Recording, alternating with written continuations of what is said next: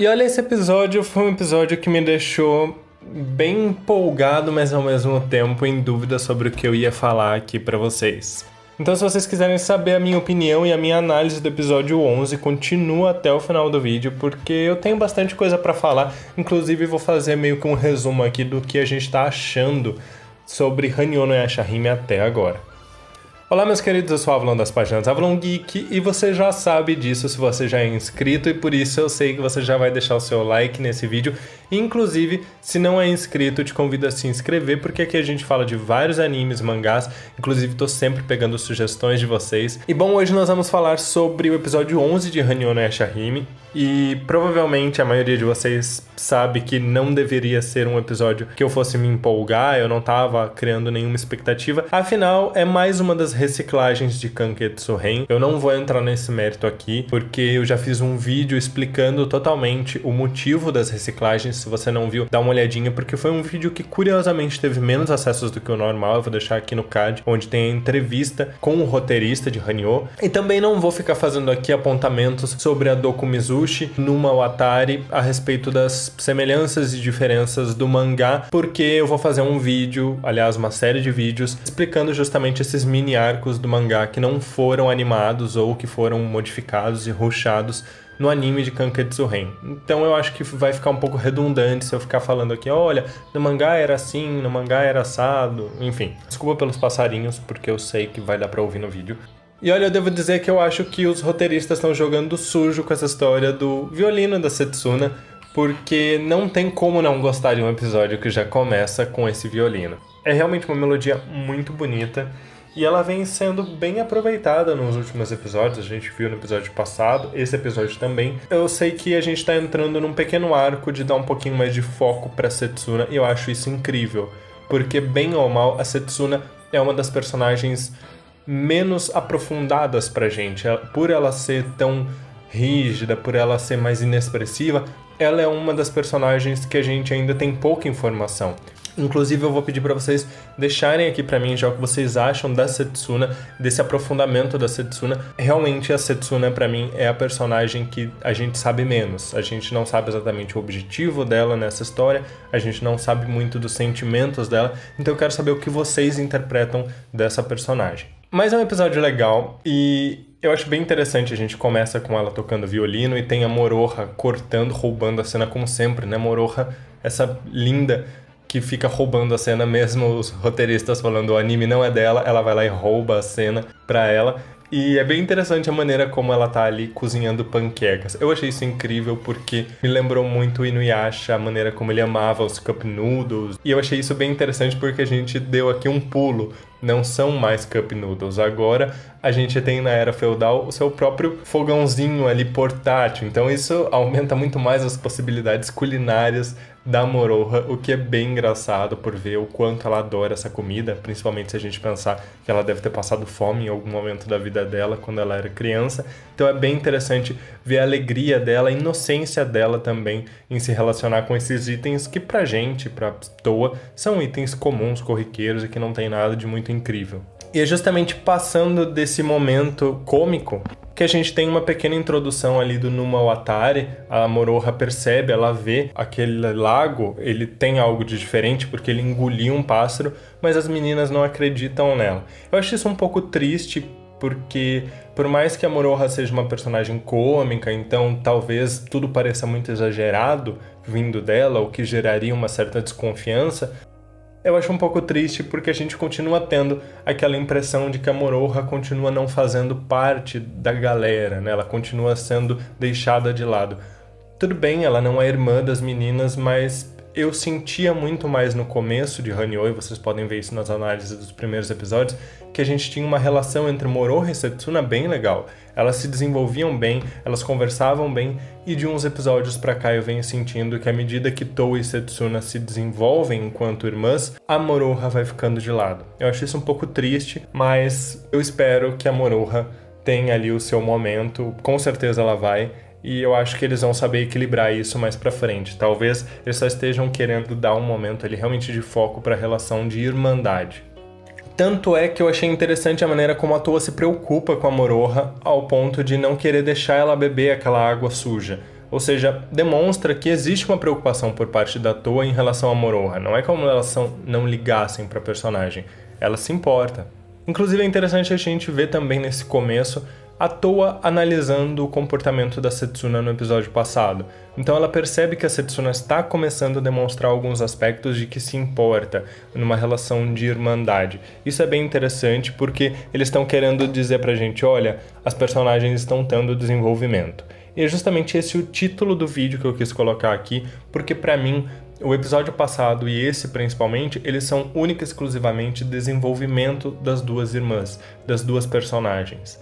Eu venho vendo uma crescente entre Setsuna e Toa, é porque o Hanyo teve seus altos e baixos, e é claro que na maioria das vezes os episódios onde foram baixos foram episódios um pouco mais tranquilos, de transição, onde a gente não teve muita novidade. Muita gente vem reclamando a falta dos personagens clássicos, antigos. A gente sabe que isso vai começar a mudar à medida que o anime for andando. Eu não vou entrar aqui no que vai acontecer nos próximos episódios. Se vocês quiserem ver, tem um vídeo, eu vou deixar aqui no card. Mas a gente sabe que consequentemente, à medida que a história for avançando, a gente vai ver os personagens antigos, a gente vai descobrir o que aconteceu com eles. Então é natural que a gente não tenha tanto sobre eles agora. Não acho que a maneira como eles estão lidando com isso, deixando muitas dúvidas no ar, assim, e nos instigando em relação a isso seja legal, porque, por exemplo, no episódio passado, a gente teve na preview ali a fala da Jouka sobre ela querer se vingar pro Sesshomaru, muito mais como um gatilho pra gente pensar, meu Deus, vai ter alguma coisa de Sesshomaru e no fim não teve. Então isso eu não acho legal, mas eu acho que o desenvolvimento das personagens está sendo bacana, principalmente nos últimos episódios. Eu venho gostado bastante desse desenvolvimento. Por mais que eu critique os episódios, vocês vão poder concordar vendo as análises que a todo momento, mesmo criticando, eu tô sempre falando, olha, a relação da Toa, a relação da Setsuna, a relação da Moroha foi desenvolvida, tá legal, isso e aquilo, porque realmente esse trabalho está sendo feito e como o objetivo é justamente contar a história de Tou e Setsuna, nesse ponto eu acho que o anime está fazendo uma coisa legal. Falta um pouco de interação com outros personagens, ao meu ver. Então aqui a gente vê inclusive o Isui e o Kohaku interagindo um pouquinho mais com a Toa e com a Setsuna. Eu achei bem interessante ver o Kohaku com aquela roupa mais caseira, porque muda aquele aspecto de que por ele ser um exterminador, ele vai ficar o tempo inteiro com a roupa de exterminador, que a gente sabe que a Sango, por exemplo, não fazia. Então é legal eles trazerem isso. Falta o Isui pra gente ver que ele também tem roupas além de exterminador, que ele não fica com aquele uniforme o tempo inteiro. Mas eu achei legal a interação deles. E achei interessante a maneira como a gente percebe de forma bem sutil que a Setsuna já inclui a Toa nas aventuras dela enquanto exterminadora. Então você vê que ela não tá mais falando só sobre ela, ela não fala mais que é pra Toa ficar, que não é pra Toa ir junto, que ela vai sozinha.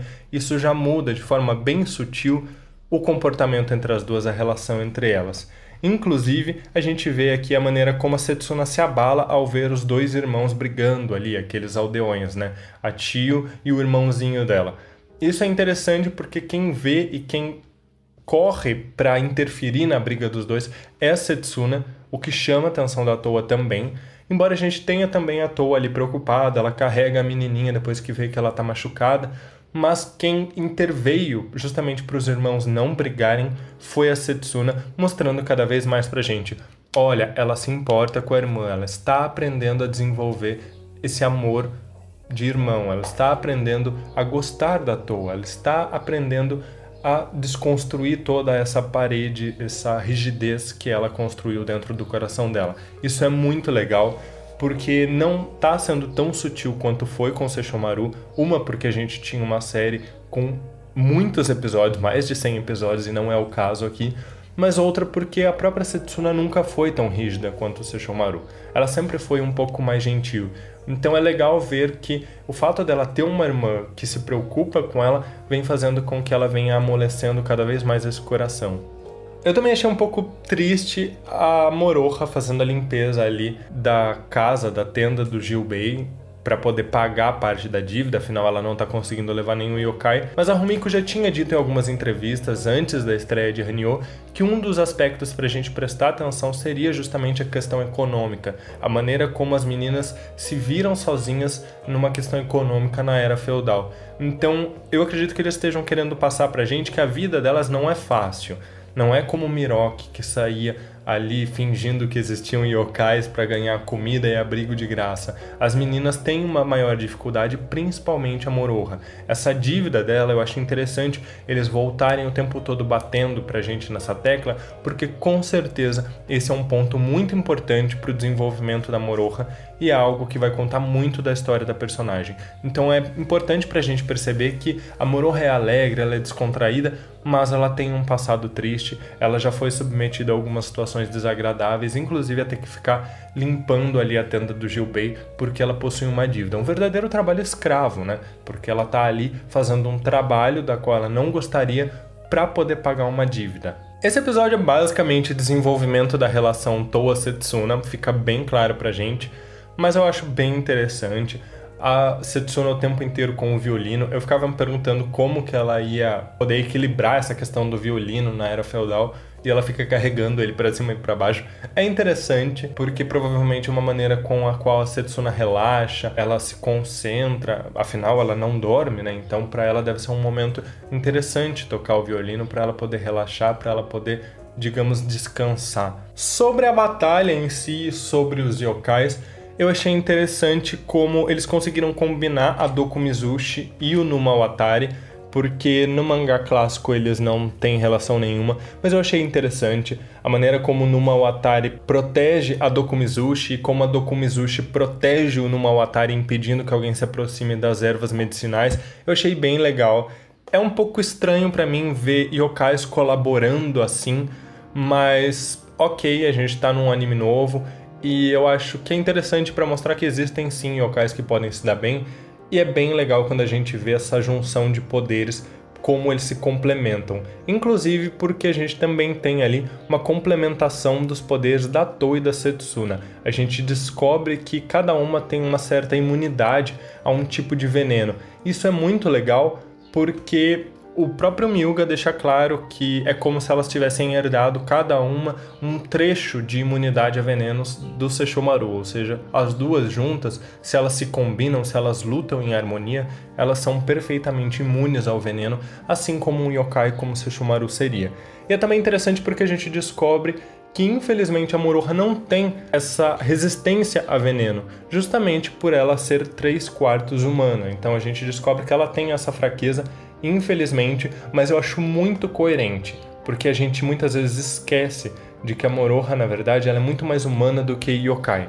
E é importante a gente lembrar disso. Inclusive, eu estava com muita dúvida sobre como eles iriam derrotar o Numawatari, afinal, quem derrotou no mangá clássico foi o Sesshomaru com Ondas Lunares das Trevas, então, por ser um yokai à base de água, não haveria como elas conseguirem cortá-lo, né? O próprio Numawatari diz isso, é justamente por isso que ele envolve o corpo da Dokumizushi protegendo ela. Mas eu achei interessante a ideia das ervas medicinais.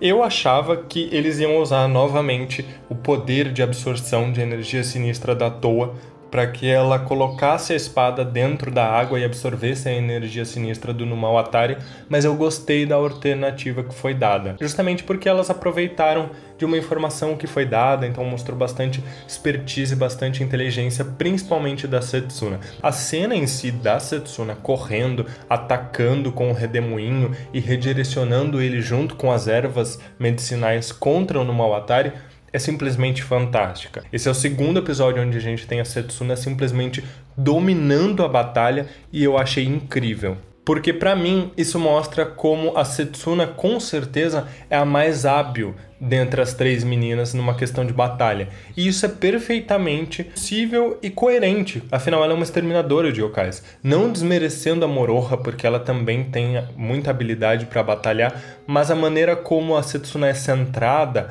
não poderia ser diferente o fato dela ser bastante habilidosa, porque provavelmente ela se esforçou muito para poder lutar desse jeito, ela treinou muito, eu não tenho dúvida sobre isso. E para finalizar, dois momentos ali no final do episódio que foram incríveis foi primeiro a Toa tentando se secar, balançando igual um cachorrinho, que lembra bastante a gente em alguns momentos do Inuyasha, foi bem engraçado, embora bastante rápido, então é aquele tipo de comédia sutil que os fãs vão entender. E também o momento em que ela está toda empolgada ali, ela bate na mão da Moroha, a Moroha também toda feliz porque conseguiram derrotar os yokais, e ela vira para bater na mão da Setsuna e ela involuntariamente, naquele êxtase do momento, vai também comemorar e então ela se lembra: ah, não, eu não posso esboçar emoções, eu sou a pessoa fria.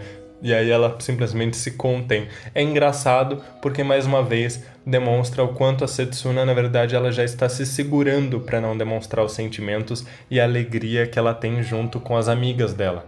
Não é como se ela não sentisse, ela não se importasse. Ao contrário, nesse momento ela simplesmente está fingindo ali que ela é rígida e ela não se importa. Mas então é isso, pessoal. Eu fiquei muito empolgado com esse episódio. Foi um episódio que realmente eu gostei. E eu tô conseguindo ver ali o desenvolvimento das meninas, que a gente está chegando num ponto bem legal.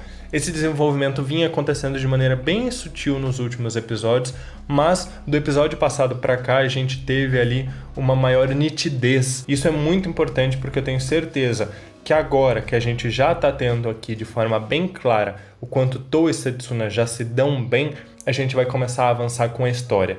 Porque a partir do momento em que as personagens já têm um desenvolvimento legal, a gente vai começar a avançar com a história para poder explorar esse passado, para poder explorar esses vilões, então, o que eu imagino é que daqui para frente, sem entrar no que vai acontecer nos próximos episódios propriamente dito, mas eu acredito que daqui para frente a história vai se desenvolver de vez. A gente está finalizando esse ponto de desenvolvimento das personagens para que elas possam ter uma relação boa o suficiente para encarar alguns perigos, alguns desafios dos quais, se elas fizessem isso sem se importar muito uma com a outra, sem uma união, elas não seriam exitosas, elas iriam provavelmente acabar se ferindo, ou então não iam se importar se uma das outras se ferisse. E é isso, pessoal. Eu quero agradecer a todo mundo que está acompanhando os vídeos, lembrando da meta de 700 likes. Então, por favor, ajuda o canal, compartilha com seus amigos, com grupos que você participa, para a gente crescer, chegar aí numa meta de 10 mil inscritos. O sorteio do Funko do Inuyasha é dia 22 de dezembro, então não esquece também de compartilhar para seus amigos para eles participarem.